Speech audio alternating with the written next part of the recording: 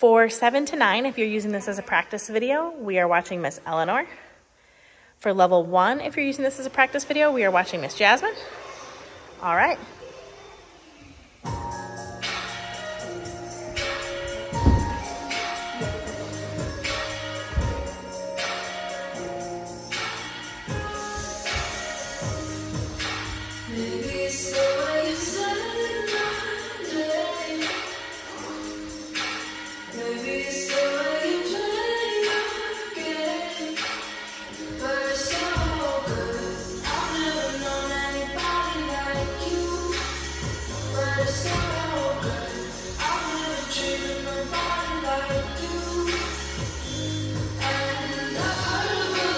Remember for seven to nine, this is our straight line that Briella is leading. We go one at a time into our choo-choo train, tallest to shortest.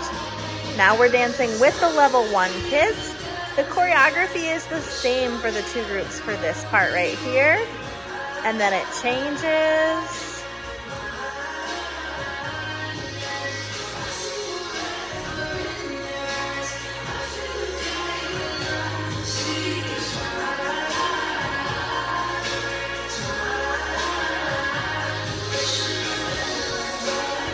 So you'll go to a circle with just your group and you'll hold hands in your circle. Good job.